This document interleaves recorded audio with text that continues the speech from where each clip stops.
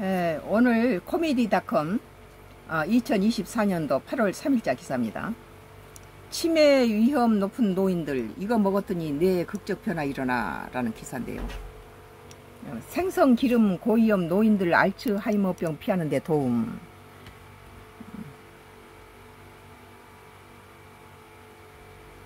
오메가3 지방산이 풍부한 생성 기름이 알츠하이머병에 걸릴 위험이 높은 노인들이 이 질병을 막는 데 도움이 될 수 있다는 연구 결과가 나왔습니다. 알, 알츠하이머병은 치매를 일으키는 가장 흔한 퇴행성 뇌질환입니다. 어, 미국 메사추세츠 종합병원 맥킨스 뇌건강센터 연구팀에 따르면 알츠하이머병의 유전적 위험이 높은 노인들이 생성기름 보충제를 복용했을 때 뇌의 신경세포가 더 느리게 파괴되는 것으로 나타났다. 어, 미국 국립노화연구소에 따르면 아포지단백 유전자 변이를 가지고 어, 있는 사람들은 알츠하이머병의 유전적 위험이 높은 사람들이다. 어, 이 유전자 변이는 알츠하이머병 위험 증가와 발병 연령이 이른 것과 관련이 있다. 연구팀은 어, 생선기름의 유익한 성분인 오메가3 지방산 수치가 상대적으로 낮은 75세 이상의 노인 102명을 대상으로 연구를 진행했다. 어, 연구팀은 생선기름 보충제가 기억력에 문제를 가진 사람들의 뇌기능 향상시킨 데 수단으로 알려져 있어 이번 연구에 적용하게 됐다고 밝혔다. 에, 참가자들은 어, 연구를 시작할 때 에, 자기 공명 영상 뇌 스캔을 받았고 3년 후 뇌의 백질 병변을 검사받았다. 아, 이들은 모두 상대적으로 높은 수준의 백질 병변을 갖고 있었지만 그 외에는 전반적으로 건강했으며 치매도 없었다.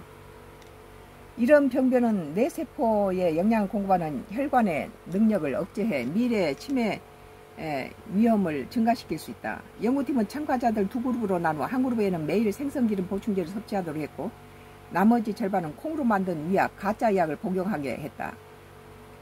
아, 연구 결과 생선기름 보충제를 섭취한 사람들 사이에 백질 병변의 진행이 약간 감상으로 나타났지만 통계적으로 유, 유미할 정도는 아니었다. 그러나 보충제를 섭취한 APOE4 보유자는 위약 그룹에 비해 생선기름을 섭취하기 시작한 지 1년 만에 뇌세포 완전성 붕괴가 극적으로 감소한 것으로 나타났다.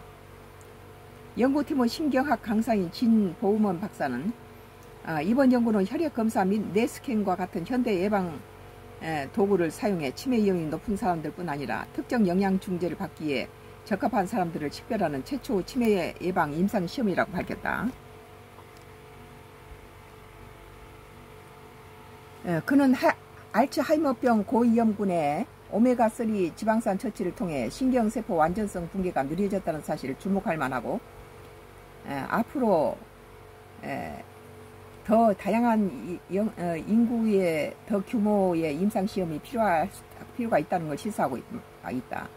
그러나 연구팀은 생선 기름 보충제가 일반적으로 노인에게 도움이 되는 것이 아니라고 설명했다.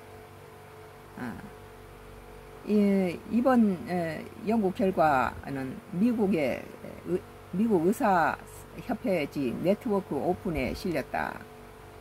아, 그렇게 말합니다. 나의 건강 코멘트는요.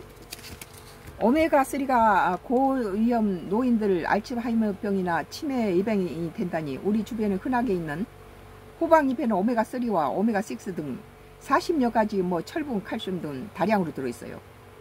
인체에 필요한 영양소가 40가지가 들어있어요. 그래서 오메가3가 값이 좀 비싸니까 모든 사람이 쉽게 구할 수 있는 호박잎을 어, 쌈이나 호박잎 된장국을 끓여 먹으면 손쉽게 오메가3 영양을 섭취할 수 있습니다. 치매나 알츠하이머, 파킨스 병들이 노인들의 식사와 영양에도 매우 관련이 높은 것이 노인들의 식사가 골고루 다양한 시, 식품을 섭취해야 하는 이유이기도 하죠. 그래서 노인들은 하루에 30가지 이상 다양한 음식을 원푸드에다 여러 가지를 넣어서 먹어야 돼요. 그냥 고기 스테이크 하나만 이렇게 소금 뿌려서 후추 뿌려서 그냥 구워 먹으면 이건 제일 나쁜 식사예요. 아, 그래서 골고루 어, 특히 호박잎에는 오메가3가 많이 들었고 기타 뭐 철분 칼슘도 다른 저기 그 채소에 비해서 더 강, 많이 들어있고 40개의 좋은 영양소가 들어있다니까 호박잎을 어, 식용에 많이 참가하면 좋겠어요. 어, 코미디 단급 2024년도 8월 3일자 기사 치매 위험 높은 노인들 이거 먹었더니 뇌 극적 변화 일어나 라는 기사에 대해서 나의 건강 코멘트를 했습니다.